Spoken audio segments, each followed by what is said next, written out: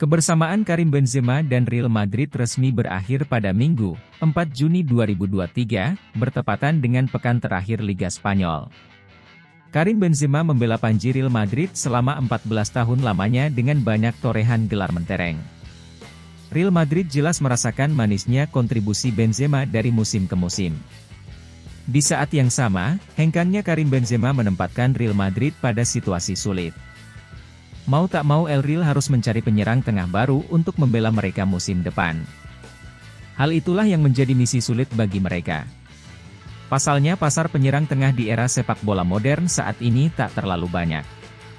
Cuma ada beberapa penyerang tengah kelas dunia yang berpotensi menjadi bidikan Real Madrid. Real Madrid bisa mengarahkan arah bidikan mereka ke tanah Inggris. Pasalnya di Liga Inggris terdapat beberapa penyerang tengah yang tersedia. Satu di antara yang menjadi target panas adalah penyerang Tottenham Hotspur, Harry Kane. Sinar kebintangan Harry Kane bisa dibilang beranjak terlalu terang bagi Spurs.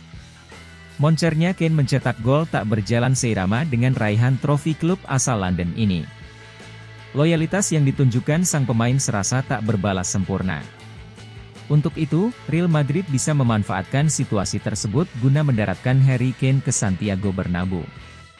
Selain tanah Inggris, daratan Italia juga menyediakan stok penyerang tengah yang bisa jadi rujukan.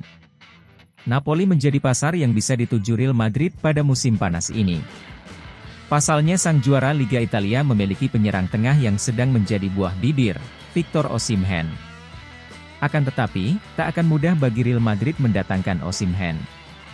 Napoli bakal memagari sang pemain dengan banderol selangit untuk mencegahnya pergi. Real Madrid sepertinya perlu merogoh kocek lebih dari 100 juta euro untuk mendatangkan pemain asal Nigeria tersebut. Namun, atribut komplit yang dimiliki Osimhen bakal menjadi investasi yang cukup baik bagi Real Madrid ke depannya. Liga Jerman bisa menjadi alternatif bagi Real Madrid mencari pemain dengan harga miring. Namun mereka juga harus selektif dalam menjaring striker yang dibutuhkan. Barangkali, El Real dapat mengarahkan bidikan kepada pemain Werder Bremen, Niklas Füllkrug. Status Füllkrug sebagai top skor Liga Jerman membuatnya memiliki daya tarik yang cukup besar. Ia juga mulai menjadi langganan masuk ke skuad timnas Jerman. Terima kasih sudah nonton, jangan lupa like, subscribe, dan share ya!